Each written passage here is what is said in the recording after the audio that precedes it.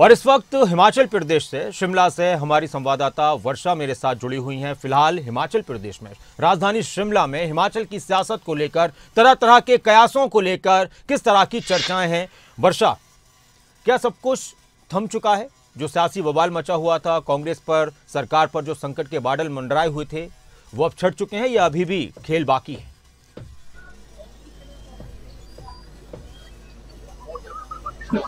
जी।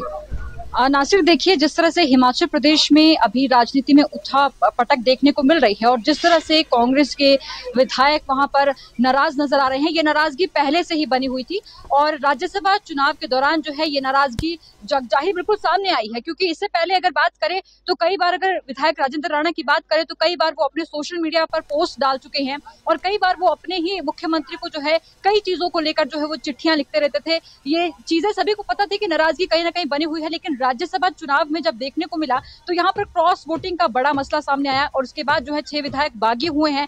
इसी के साथ आपको जानकारी दे दें कि अभी जिस तरह से हरियाणा में जो यहाँ के छह बागी विधायक बैठे हुए हैं, उनके साथ जो विक्रमादित्य की मीटिंग भी चल रही है। जिस तरह से कल रात से ही विक्रमादित्य वहाँ पर चले गए थे तो ये माना जा रहा था और कई यहाँ पर इस तरह की घटनाएँ देखने को मिलती और बातें सुनने में आ रही थी कि यहाँ से एक और मंत्री जो है, वो बीजेपी में शायद शामिल हो सकते हैं, एक और मंत्री जो है, बागी हो सकते हैं, क्योंकि विक्रमादित्य इससे पहले भी इस्तीफा दे चुके हैं। विक्रमादित्य के बीजेपी में जाने को लेकर भी कई सारी बातें सामने आ रही थी। और वहीं अगर बात करें तो आज एक प्रेस वार्ता जो है प्रदेशाध्यक्ष प्रतिभा सिंह ने की है जिसमें पत्रकारों ने उनसे कई सवाल पूछे और बीजेपी में जाने को लेकर भी सवाल पूछा गया। लेकिन उन्होंने यहाँ पर कोई प्रतिक्रिया इस पर नहीं दी है न ही कोई मनाही की है और न ही कोई इस पर जवाब दिया है। दो दो बात है वर्षा ये बहुत अहम बात है ये बहुत अहम बात है वर्षा जिसका जिस बात का आप ज़िक्र कर रही हैं और प्रतिभा सिंह के जिस बयान की आप बात करें या फिर बयान न देने की बात कर रही हैं। एक बात तो अपने दर्शकों को हम इस वक्त बता दें कि अब विक्रमादित्य सिंह दिल्ली के लिए रवाना हो चुके हैं। लेकिन उन्होंने बागी विधायकों से बातचीत की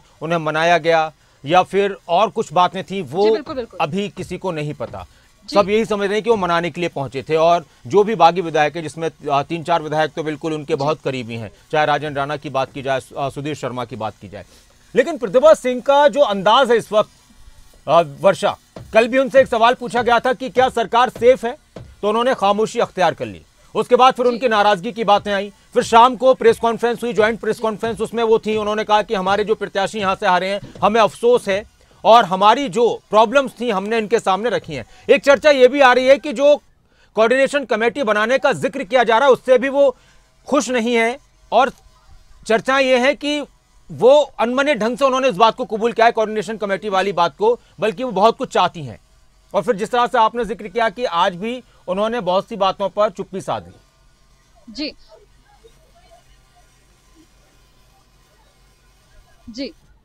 बिल्कुल नासिर, देखिए, यहाँ पर अगर बात करें तो प्रतिभा सिंह की नाराज़गी भी काफ़ी समय से चल रही थी, क्योंकि बार बार वो जब भी पत्रकारों के सामने आती थी तो वो एक ही बात कहती थी कि मुख्यमंत्री से बार बार कहा जा रहा है कि संगठन के लोगों की तरफ़ ध्यान दिया जाए, क्योंकि संगठन ही इस वक्त कांग्रेस की रीढ़ की हड्डी है। उन्होंने, उनमें काफ़ी ऐसे लोग हैं जिन्होंने पार्टी के लिए काफ़ी काम किया है। और पार्टी को उन्होंने खड़ा रखा है लेकिन उनकी तरफ़ ध्यान नहीं दिया जा रहा है। तो वहीं कहीं ना कहीं राज्यसभा चुनाव के बाद ये पार्टी की पूरी नाराज़गी जो है जग ज़ाहिर हुई है सामने आई है क्योंकि इसमें छह लोग जो है बागी भी हुए हैं छह विधायक आप जानते हैं इस वक्त की छह विधायक जो है नाराज़ बैठे हुए हैं। हालाँकि पार्टी से कोई नाराज़गी उन विधायकों की नहीं है। हम्म। केवल सीएम को लेकर जो है उनकी नाराज़गी बनी हुई है बार बार एक ही बात की जा रही है क्योंकि अपने सोशल मीडिया हैंडल पर भी वो चीज़ें डाल रही हैं।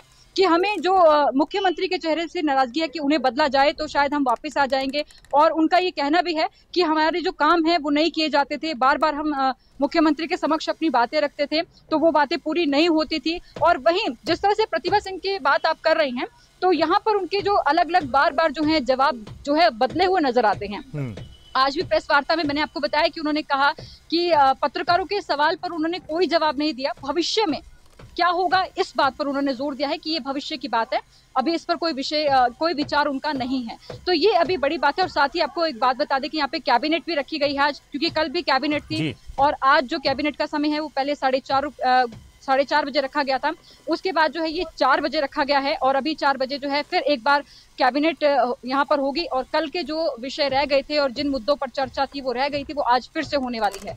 अच्छा मुझे एक बात और बताइए वर्षा कि इस वक्त कांग्रेस का जो अंतर्द्वंद है, वो तो सबको नज़र आ रहा है और अभी सब कुछ ठीक नहीं हुआ है कांग्रेस में, इसी तरह के इशारे मिल रहे हैं। लेकिन फ़िलहाल हिमाचल बीजेपी क्या कर रही है? हिमाचल बीजेपी से किस तरह की खबरें आ रही हैं? क्या वो अभी शांति से बैठे हुए हैं, हिमाचल में बीजेपी के बड़े नेता, या फिर वो भी अपनी अलग अलग कोशिशों में कुछ ना कुछ लगे हुए हैं?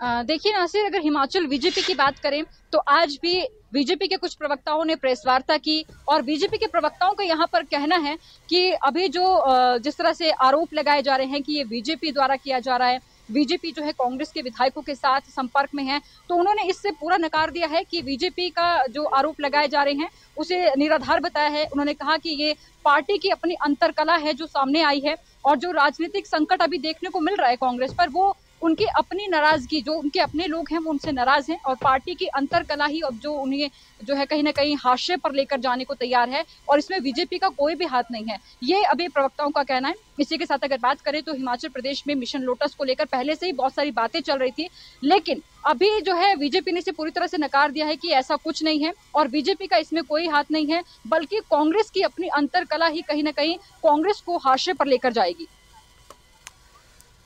बहुत शुक्रिया वर्षा आपका इस पूरी जानकारी के लिए और बातचीत के लिए। आपसे वक्त वक्त पर अपडेट लेते रहेंगे। हिमाचल प्रदेश में जो सियासी संग्राम इस वक्त नज़र आ रहा था, जो कांग्रेस के अंदर नाराजगियों का दौर था वह भी पूरी तरह से थमा नहीं है।